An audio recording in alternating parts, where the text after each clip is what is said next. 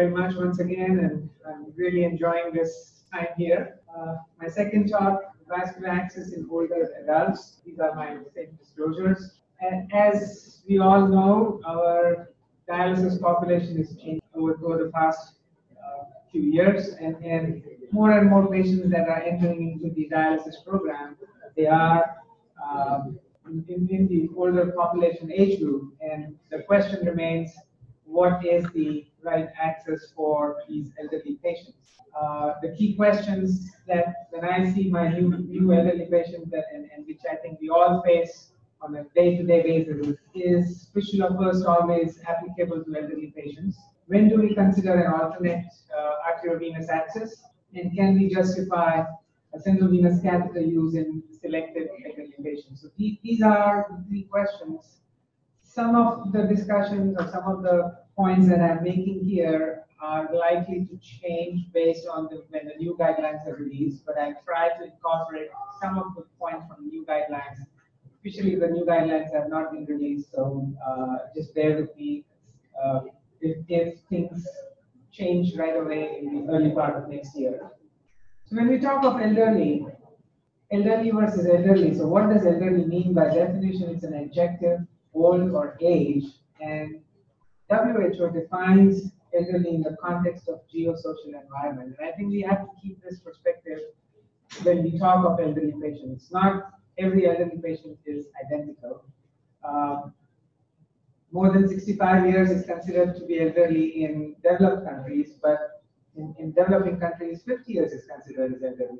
So do we really, should we really define them or define a patient by elderly, early elderly versus late elderly? And, and, and, and I think there is, this, this is the uh, map that I pulled up on an average life expectancy. And as you can see in the, in, in, in the developed world, the, the life expectancy is 75 plus, but in some of the underdeveloped countries, the life expectancy is as low as 45. So uh, yes, if a 45 year old person uh, in, in Africa may have the, the, physiologic structure of an elderly person who is 70 years old in a, in a, developed country. So we have to keep that perspective in mind when we, when we talk about uh, what kind of access one has to consider. So chronologic age is definitely different compared to biological age. And, and over, again, over the last decades, uh, the physical activity of an healthy elderly person has clearly changed.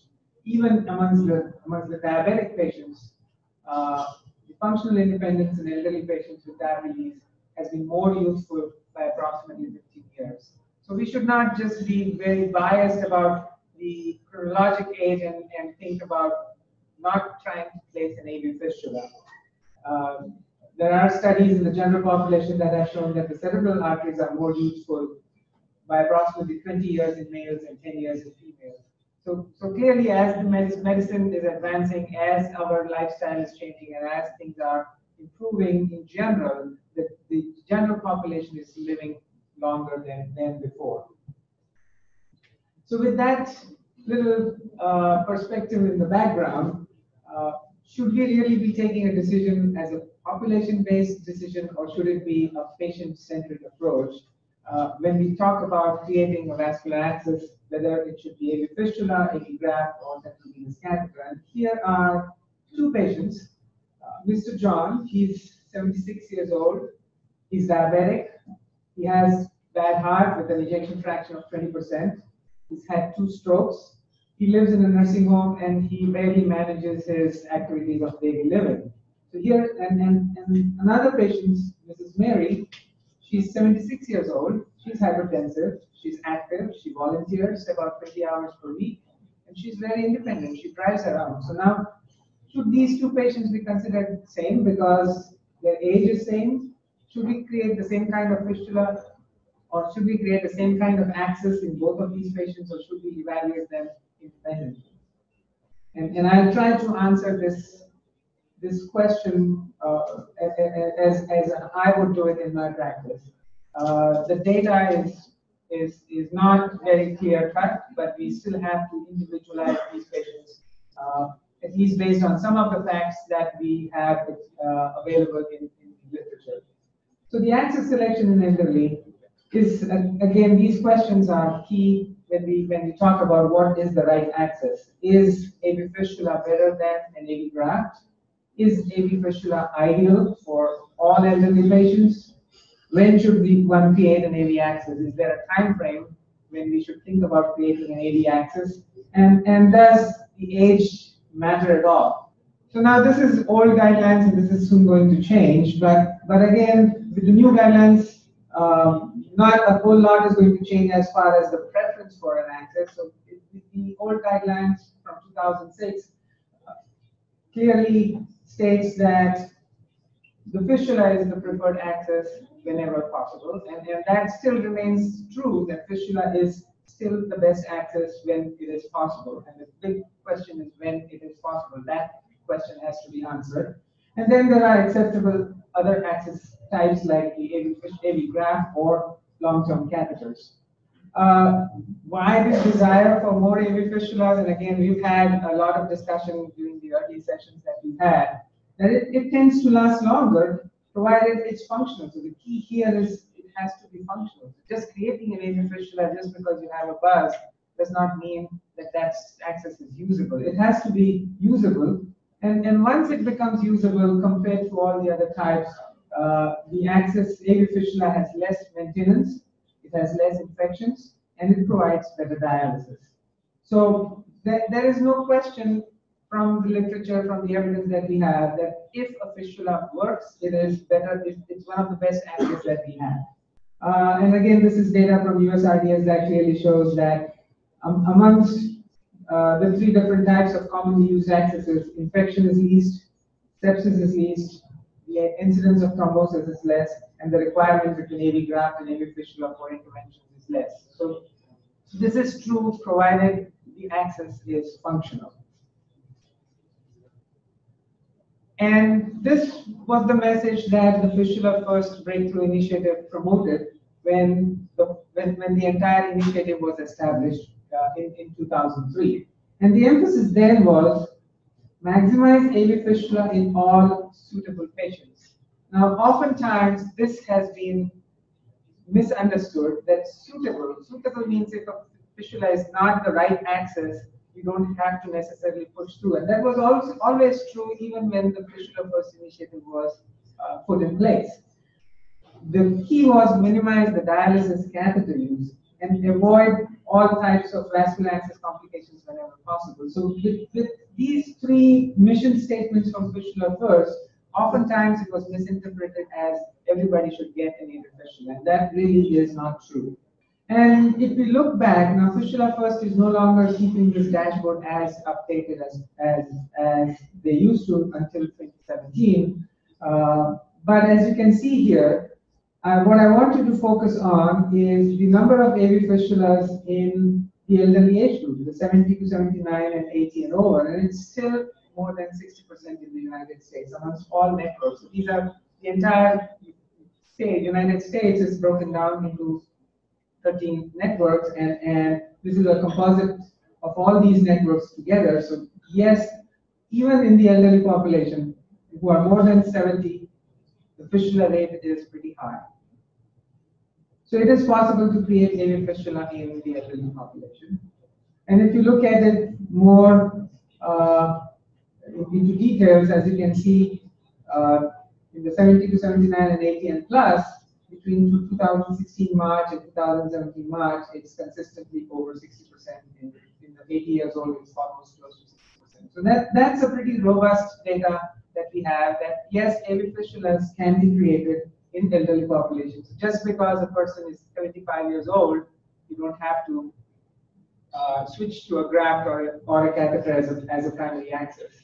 And this was also shown earlier on that long-term benefit out of AV fistula is survival benefit is definitely better compared to those patients who have central venous catheters. And, and you can see here, the top line is patients who only had AV fistulas. They survived longer over a 58 month uh, period after they were initiated with AV fistula.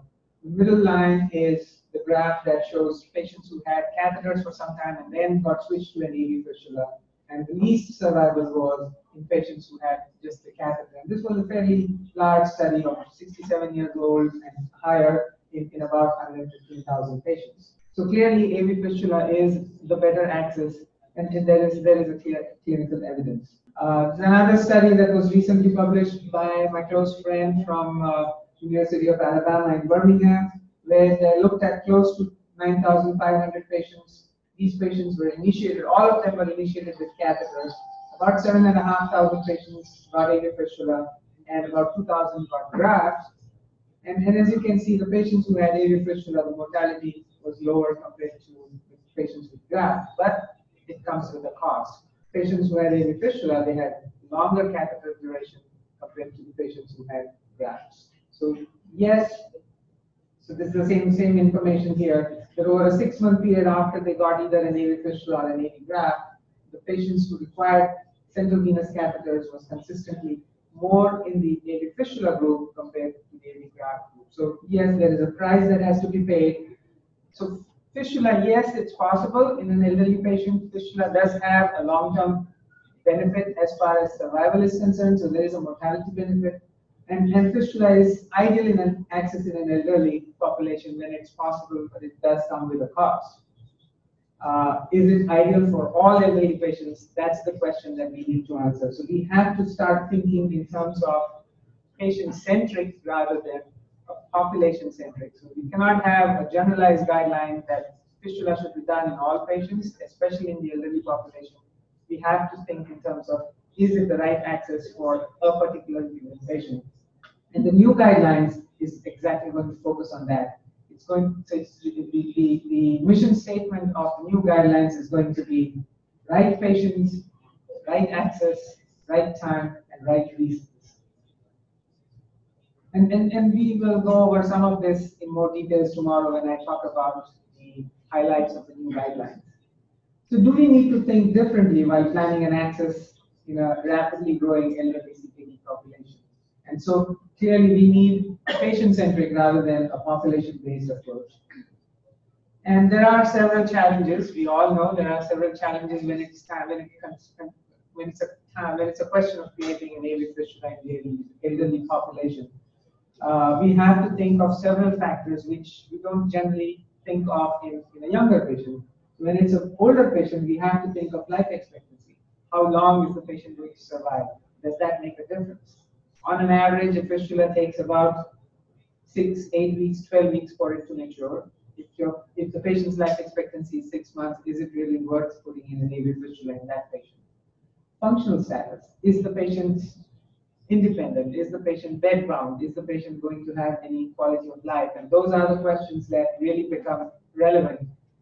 And then elderly populations have multiple comorbidities, peripheral arterial disease, cardiovascular disease, whether it's an acute start, there are the crash landers, or whether it's a chronic progression where you have to plan, think, educate, inform the patients. Uh, and, and of course, we have to keep patient preferences in mind. Does the patient want to go through multiple surgeries? Does the patient like needle sticks? Those are key issues that really become relevant when we talk about taking decisions from a patient's perspective. Uh, and, and, then there are social factors that the, uh, the family supports. Is the patient in a nursing home? What what else, else is going on from a social perspective? So the challenges, if we boil all of those down into a narrow four segments, uh, likelihood of progression of ESRD versus death in the elderly population. That's the major question that one has to answer, which which which equals to what is the life expectancy? Can you can you predict whether the patient is going to live longer? It will depend on what else is going on with the patient. What are the other comorbidities that the patient has? Does he have a terminal malignancy? Does he have bad strokes that the patient or bad cardiovascular disease with an ejection fraction of 20%? Is that person going to live long enough? Uh, risks and benefits of the type of vascular access. If the fistula is not going to mature and will require three, four, five interventions for it to mature, is it really worth putting in a AV fistula or just putting in a graft and get going in two weeks or three weeks time so you cut down on the duration of catheter? And again, what does the patient want? After discussing all this, if there is time to discuss, does the patient really want to go through all these hardships.